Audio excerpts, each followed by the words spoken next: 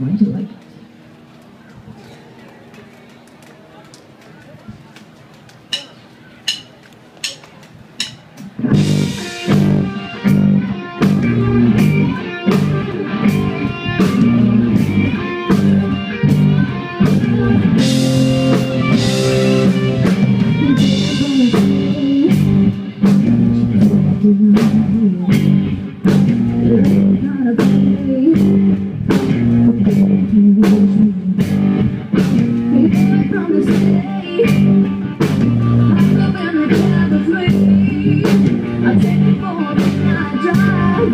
it. Gonna